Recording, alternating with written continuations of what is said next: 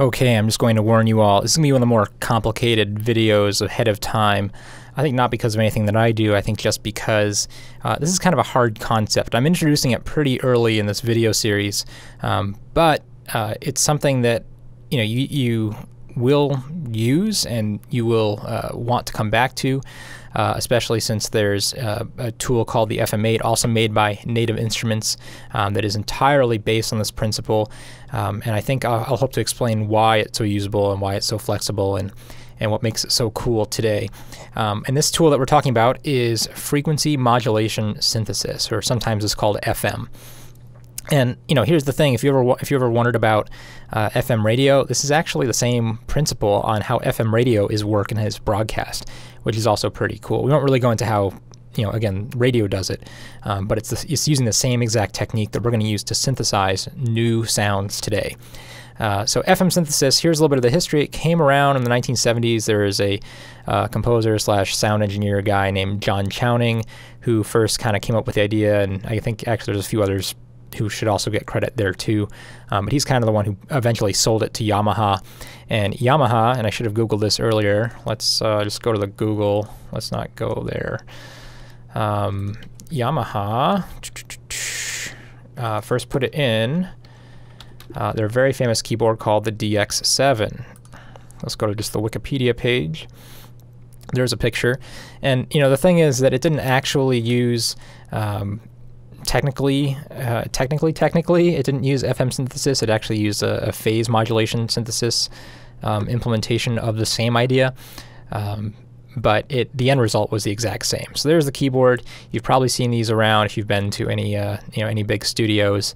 You know everyone still has one. This is again one of the classic synthesizers uh, of the 1980s decade. I don't want that. Go away. Let's uh, and right there you can see, yep, John Chowning at Stanford University. Okay, so let's uh, go back to Cubase.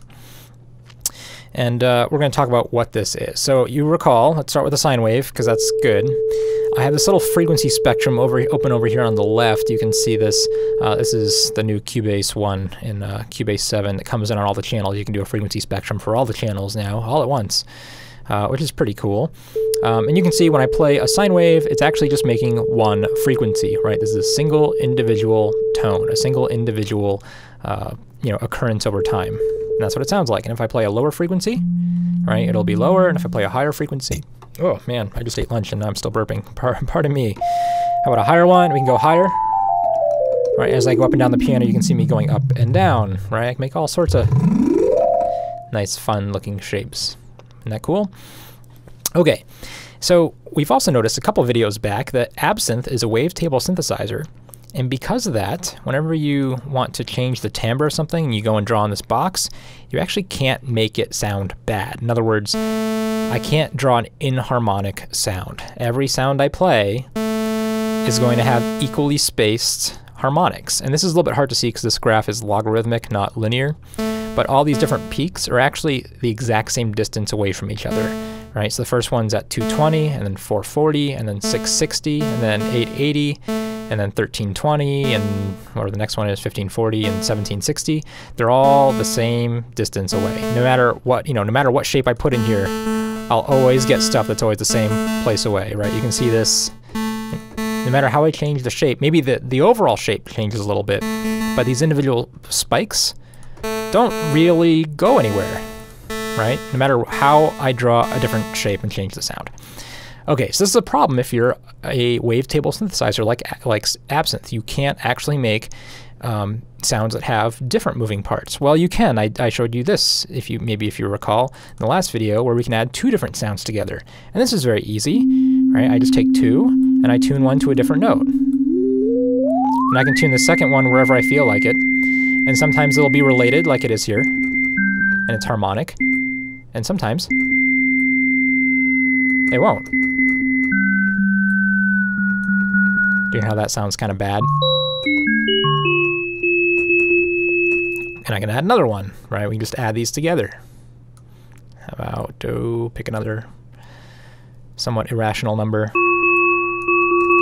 right? So it kind of sounds a little bit like alien music, right? These things are out of tune with themselves. And again, these are not mathematically related by integer multiples, and that's what makes them sound kind of strange. Okay, but that but you know, this is the only way you can do that in a wavetable synthesizer, right? Well, wrong. If I want to get inharmonic material, there's a whole other way we can do so, and it's a really efficient way. Much more efficient than just adding, you know, a million of these oscillators together. And really I can't do that anyway because I only have three in Absynth, so that's out of the question. If I want to get, you know, if I want to get a whole bunch of different inharmonic parts, I have to open this plugin, you know, 20 times, and each time I can only add three new sounds to it. So let's not do that. Let's look at this other method. I'm going to put this in frequency modulation mode. Okay, so here's your definition for modulation. What modulation means is we're going to take one signal and use another signal to control some aspect of that signal. And in this case, uh, I'm going to use two sine waves. And I'm going to, let's just play. And what I have right now is I have one sine wave controlling the frequency content of another sine wave. And you can see already that it actually has, I'm only making two sine waves, but am I seeing just two frequencies? No, and I'm actually actually seeing at least eight about here. And I can change the note. So I'm already, um, this is already way more efficient than anything else I've ever showed you because before when I had to make that three you know, peak sound, I had to add three different oscillators. Here, I only have to add one and then modulate it. And not only that, I can make inharmonic sounds really easily just by changing the tuning between them. Right, so there's some pretty good inharmonic kind of sounds right in here. Very colorful, I guess, as we might say.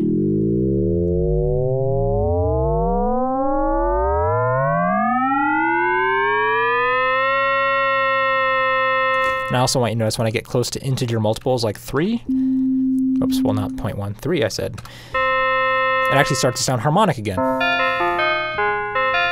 It actually starts to sound musical.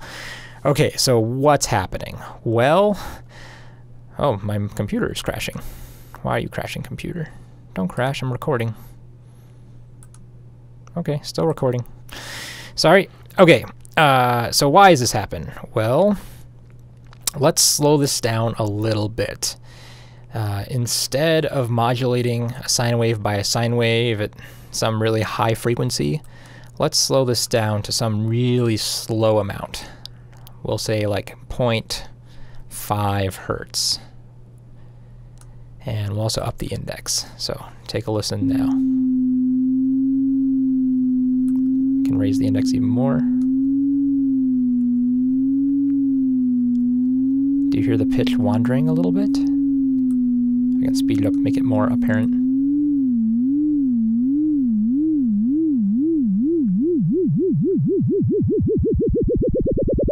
Okay, let's bring it back in. That was getting out of hand. Right about there. Do you see this frequency sort of going back and forth? That's because what I'm doing is I'm using one sine wave to actually determine what the frequency of the other sine wave should be. So think about a sine wave, right? A sine wave is just a shape, goes up and goes down. I'm going to take that shape and instead of mapping it, you know, out to the speakers to be heard by all of our ears, I'm going to take that shape and just basically twist the frequency knob here up and down according to that shape. So it's almost as if I just took my mouse and was just moving this mouse up and down. Okay, and if I do that, I would make this sound. And let's actually turn down the index a little bit. And as I get faster and faster, you can actually see something strange really happens, right? I start turning up and down that frequency knob so fast that it doesn't generate just one pitch that's moving around anymore. Instead, it actually generates this huge wide range of frequencies that we hear. Okay, so this is called frequency modulation. Uh, and if we do it fast enough, and really the, the cutoff point is around 20 hertz. When I start to modulate this thing around 20 hertz, it no longer becomes one note. Let me turn it, up. I think it's easier if I turn it up. Okay, so right, we have one note just sort of moving around. You know, one note staying still. Moving around again. Whoops, let's go slowly. Right? It still sounds like whoa, whoa, whoa, whoa, whoa, whoa, whoa. It sounds like one note going up and down really fast. Right? Still has that kind of characteristic until I get to around 20. And now around here, it's starting to go so fast that I can't actually hear it going up and down anymore. It starts to just sound like it's a, a sound. Just, just, it's just blah.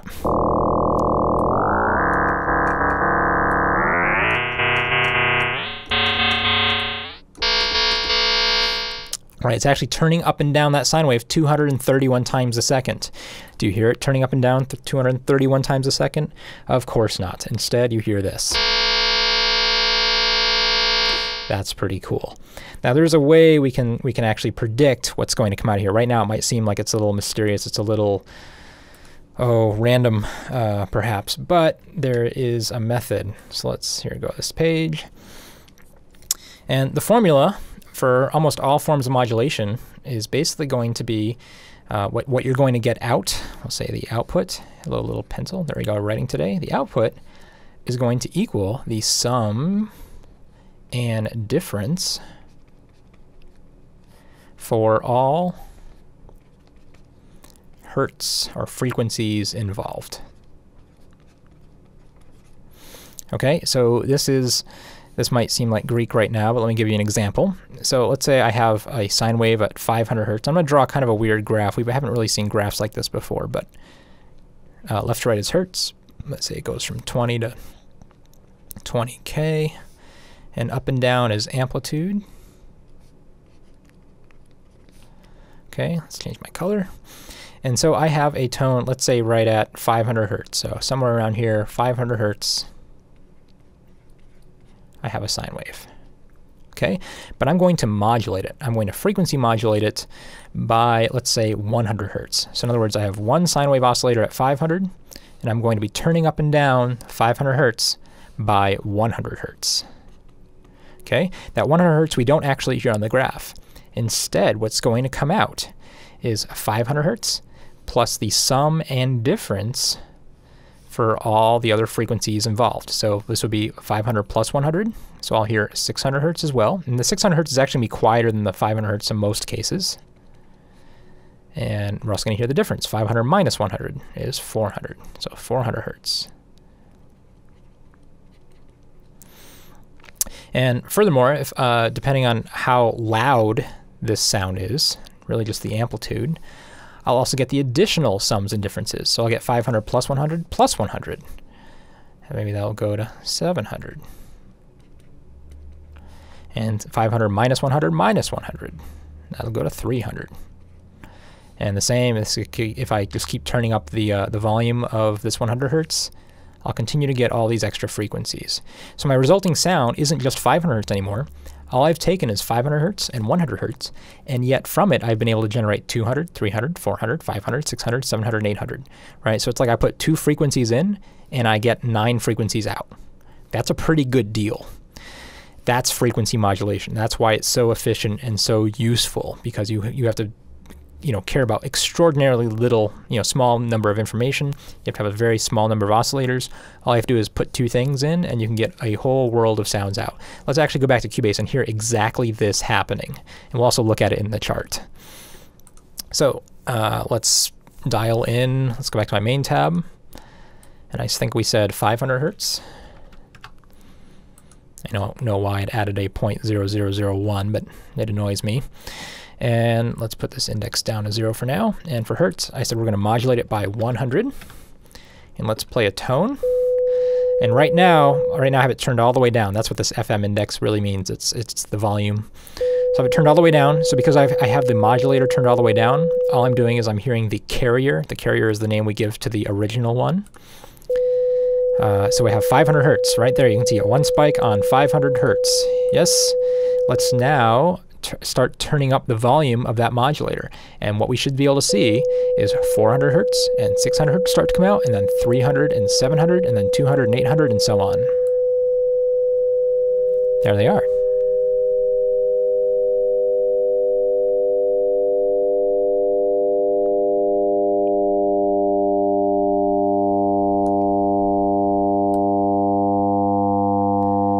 All right, so I'll stop right about there. So I just that's what 500 hertz modulated by 100 hertz sounds like, and it's pretty cool. I mean, it's it's usable, right? I mean, it's uh, you know, it sounds like it's something, I guess. Uh, but I only put two frequencies in, and I just got out well, 1, 2, 3, 4, 5, 6, 7, 8, 9, 10, 11, 12, maybe about 13. That's a good deal. Uh, frequency modulation uh, can do just so much more than that, though.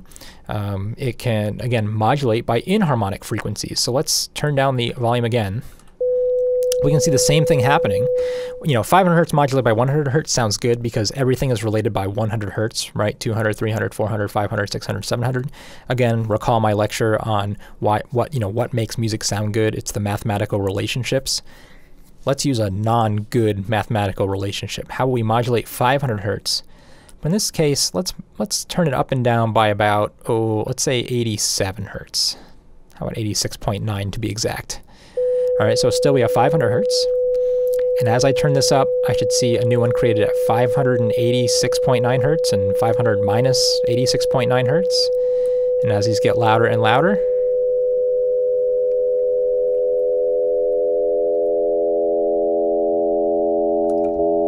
it's not really nice. I mean, it's kind of weird sounding, right? Whereas if I put this to 100 hertz, it's like, oh, there's music again, right? That's a note. That's a note that you can actually play and use.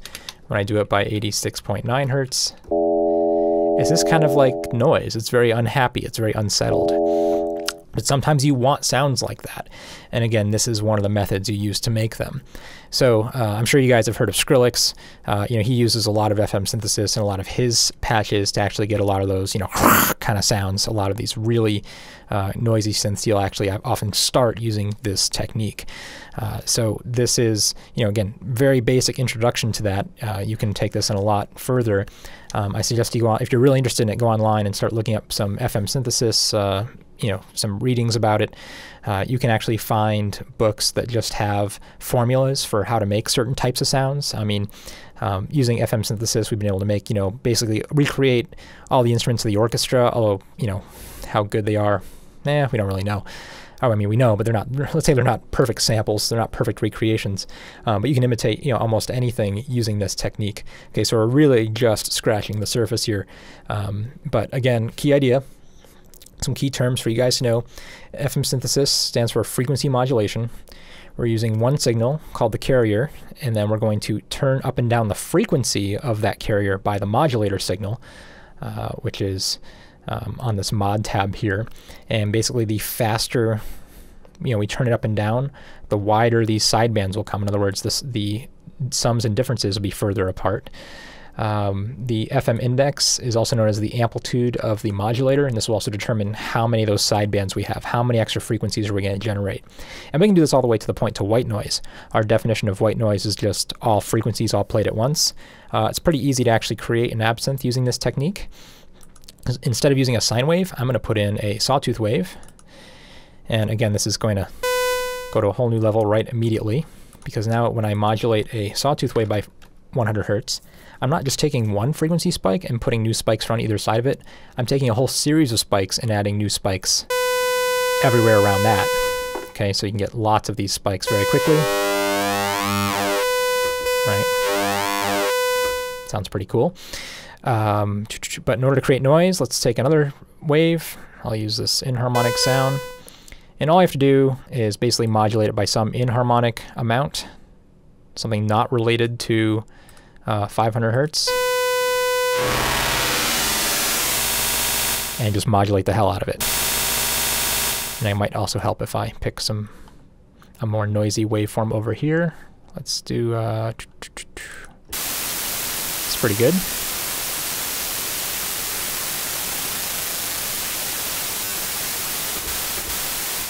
That's pretty much white noise, right? We're just generating all frequencies across the board. And again, I'm doing it with just two oscillators, right? I'm actually able to generate complete noise with two oscillators. You should be feeling the power right now. You should feel uh, pretty awesome, pretty capable, that you can do so much with just so little. Okay. All right, I hope that was exciting. I hope you guys understood. Again, FM synthesis is a really hard topic, but I hope that stepped you through uh, mighty fine. All right, I'll see you guys in the next video where we'll continue to explore the world of Absynth.